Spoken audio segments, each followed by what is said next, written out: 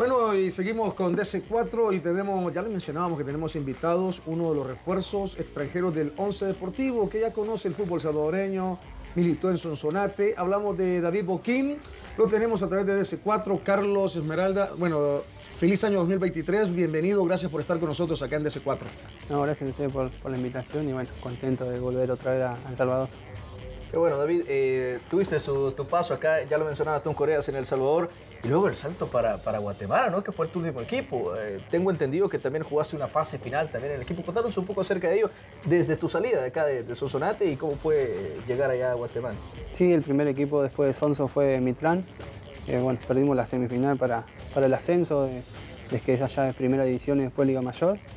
Y después me fui a Suchitepeque, que gracias a Dios me, ha ido muy bien, con la gente me ha tomado mucho cariño y bueno, hoy tomé la decisión de, de volver al país porque tuve un nene acá en El Salvador, así que eso me, me sedujo para, para volver al país.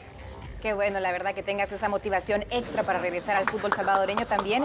Pero háblanos acerca de tu participación en el fútbol de Guatemala, cuántos goles hiciste. Estábamos hablando fuera de cámara que en los cuatro torneos que estuviste allá, bueno, fuiste, eh, estuviste en el, top de goleo. Sí, de hecho el último lo, perdí por minutos, allá se, por minutos jugados, tuve más minutos que, que Soldado Toledo de, de Marquense, así que me ha ganado, los dos hicimos 11 goles, así que él fue que me ganó por minutos, después el, el último torneo terminé con 9, así que por suerte me ha ido bien y después tuve en Aurora que he hecho 9, goles también, 9 en 14 partidos. 9 en 14, sí.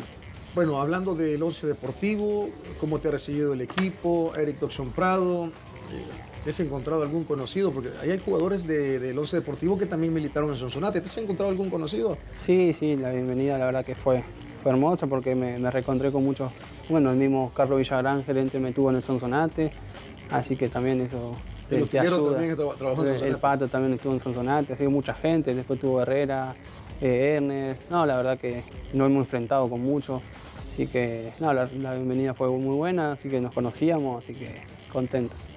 David, eh, ¿cómo, cómo es que te decantaste también por regresar nuevamente al, al Salvador? eh? Algunos, algunos, no todos, eh, de mi parte no creo, pero en Guatemala consideran que el fútbol ha crecido un poco más y que tiene un nivel un poco más elevado que, El Salvador. Te digo algunos, pero quisiera preguntarte a ti, ¿por qué decidirte venir otra vez acá? ¿Sentís más competencia? ¿Sentís que ha, progresado nuestro fútbol en los últimos años? De hecho, me, parece que el nivel es el mismo, están en un mismo nivel. eh, De hecho, cuando se enfrentan en- en- entre sí, se, está, se ve. Eh, El Once Deportivo jugó con Comunicaciones, es un equipo de los más grandes y no le pudo ganar de local. O sea que el nivel es el mismo. Y lo que me sedujo es el nene. Tengo un nene de dos años y la verdad que fue lo que me sedujo de venir otra vez al país, estar con él. y- Tienes un nene de dos años salvadoreño. Sí, Nació acá. En, nació acá, así que Ah, ok. con él, eso fue lo que más me, me sedujo volver al país. Ahí está. Qué bueno. Y bueno, también hablanos, es un gran reto muy importante este eh, once deportivo. Lo hemos dicho en reiteradas ocasiones durante el torneo pasado, que les hacía falta un goleador. Ahora contigo lo pueden encontrar, definitivamente ya lo, lo mencionabas, tu cuota goleadora en Guatemala ha sido bastante buena. ¿Qué esperas para este torneo con el once deportivo? Sí, esperemos que, sigamos con la misma racha que, venimos, pero sabemos que hoy nos encontramos en una situación difícil del 11. Es la misma situación que cuando me llegó a estar en el Sonsonate, estábamos en la misma situación y, perdimos la semifinal con la Alianza, así que esperemos que sigamos por ese camino. Bueno, hablando de- del Once Deportivo, está en eh, Chalatenango, el Firpo, en esa, en esa pelea, un torneo que va a ser competitivo, apretado por la misma importancia del descenso. Y tú ya hablabas que esa presión ya la has vivido con Sonsonate, pero ¿cómo está conformado el equipo? ¿Cómo consideras que está conformado el equipo? ¿Lo ves para, para pelear no solo por mantenerse en primera, sino también pe- pelear más arriba?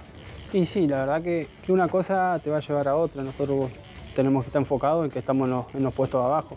Y eso mismo de querer sumarte va a llevar a, pelear los puestos arriba. Así que el plantel es, un plantel joven, con muchas ganas y, y está preparado para, para correr. De hecho, la pretemporada fue fortísima.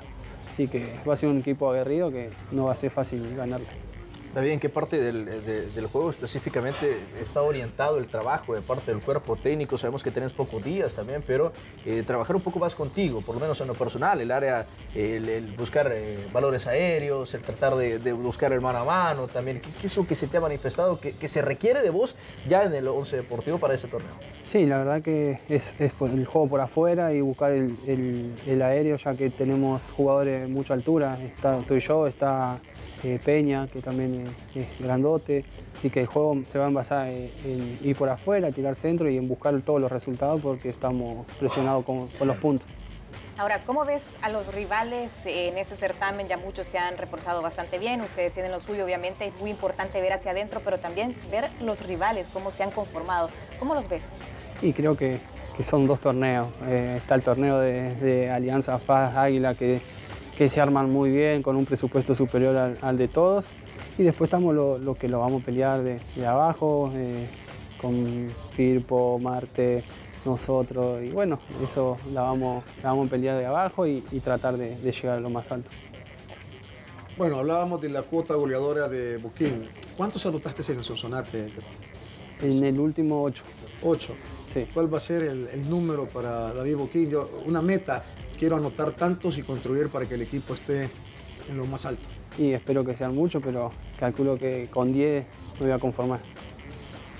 10 goles, sí, la se proyecta prácticamente en un torneo donde ahora sí se sabe que Correcto. Va a ser Van a ser 22 jornadas. Exigente, 22 en el jornadas. solo fueron 10 jornadas y vas a tener la oportunidad de anotar más. Más, partidos, eh, más partidos, eh, por supuesto.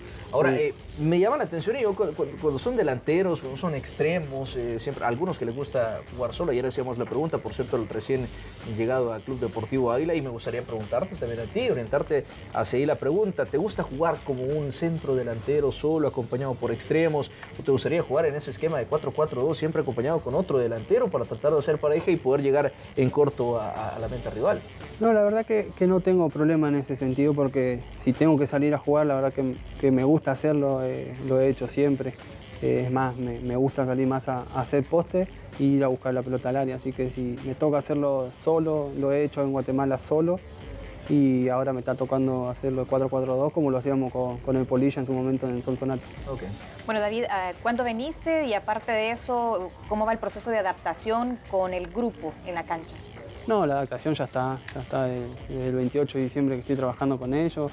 Eh, nos pusimos bien físicamente, que era lo, primordial, porque bueno, el fútbol de ahora ya no se juega más parado, si no correr hoy no puedes jugar, así que lo primero es ponerte bien físicamente, así que estamos bien, hicimos una muy buena pretemporada con el profe, así que contento. Bueno, yo, me quería enfocar en el, aspecto individual. Cuando, cuando jugaste en El Salvador, ¿cuál fue al equipo que te costó anotarle? gracias a Dios le hice a todo lo más grande, le, he convertido. Pero el que siempre le hacía era Paz. Paz era una cosa que, que siempre le, le convertía hasta, de casualidad, porque me acuerdo que el último gol que empatamos 2 a 2 cabeceé despacito y, le pasó por arriba al arquero, así que tenía esa cuota de, suerte contra el Paz. El defensa más, el que más te complicó, el que no, te daba espacio para que remataras, que te acordés. No, con Kevin Calderón teníamos duelos particulares porque nos conocíamos, entonces él no quería que, que yo le convierta y yo le quería convertir siempre, así que con él, aparte que tenemos una amistad. Saquémonos un poco del tema futbolístico. Estuviste en Sonsonate, una sola también de ese sector occidental del país y ahora te vas a, Huachapán precisamente. Eh, creo que no hay diferencia en cuanto al tema del clima y todo, pero no te ha costado tampoco adaptarte, ¿no? Te ha dicho, mira, más calor ahora, o siempre has estado yendo y viniendo también por el tema de tu hijo. Sí, sí. Decís que dos años y es salvadoreño también. No, es que el último torneo estuvo en Mazate, Mazatenango, es muchísimo más calor que, que Sonsonate, porque aparte llueve y, y, jugás a las 11 de la mañana y el vapor te quema las plantas a los pies, así que no, el clima no, no es para nada una dificultad. Eh, ahora sufro el frío cuando voy a Argentina, lo sufro porque estoy acostumbrado al calor de acá. Bien, y ahora en cancha, eh, ¿con quién te entendés mejor ahora con tu nuevo equipo, el Once Deportivo? Y la verdad que con Chiqui, eh, con jugadores de, ese pie, la verdad que es muy fácil entenderte. Ahora estoy jugando con, el Toro de Punta y la verdad que es un, equipo muy humilde, la verdad que, me, gusta por, la humildad que tiene el equipo. Mira, me llama mucho la atención porque dijo dos jugadores claves, el Chiqui y también el Toro en punta. O sea, son dos jugadores que también son referentes en ataque para ese equipo del once deportivo. Muy interesante, la verdad. Sí, el Chiqui, la verdad que tiene una técnica, un jugador que, bueno, eh, ojalá que le vaya bien este año y seguramente el, torneo que viene no va a estar con el once. Yo sigo con las diferencias. Entre, la primera, me estabas hablando que jugabas a las 11 de la mañana. En Sonsonate la mayor parte de los partidos eran por la noche. En Aguachapán no se puede jugar por la noche todavía, están en proceso. Pero, ¿qué diferencias encontrás de jugar por la noche, en la tarde en nuestro país? Y el terreno de juego del Simeón Magaña con el de la Mercedes Campos de Sonsonate. Eh, son similares en, lo que es, eh, son similares, pero en Aguachapán corre brisa y en el Sonso no corría. Cuando nos tocó jugar a las 3 de la tarde no he jugado y a la noche tampoco corría brisa, nada. Y en Huachapán hay una brisita que la verdad que el clima es lindo para jugar. Conociste un poco también acerca de, lo de Once Deportivo, ¿no? que no tuvieron un torneo tan bien, por lo menos en el pasado, a diferencia de los anteriores que sí venían también metiéndose en esa fase final. Y normalmente tenemos entendido que cuando arranca un torneo, siempre el equipo que, que, que tiende a ser como la sorpresa, algunos ponen a Once Deportivo.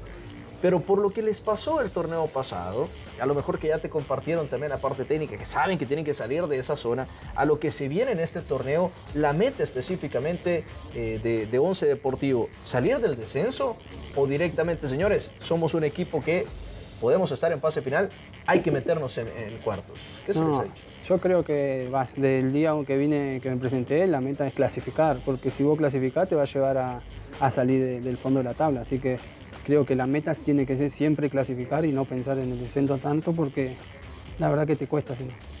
¿Por cuánto tiempo has firmado con el Once Deportivo? ¿Por cuánto tiempo va a estar disfrutando la gente de Aguachapán tu fútbol?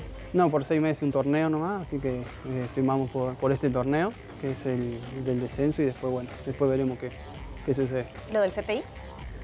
No, ¿De la transferencia internacional cómo va? No, ya está, ya hicimos todo, la verdad que Carlos para eso la tiene clara, ya hace años que está en eso y la verdad que lo hizo rapidísimo. Aprendió bastante Carlos Villagrán.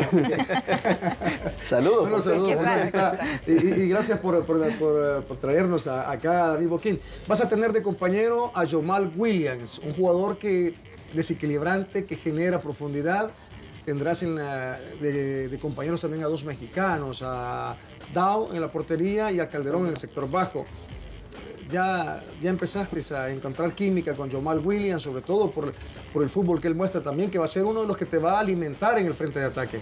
Sí, Jomal es distinto en, las prácticas, la verdad que lo demuestra. Eh, tiene una técnica que es impresionante, la velocidad con pelota, que, es, la verdad que es muy bueno. Esperemos que podamos contar con él todos los partidos.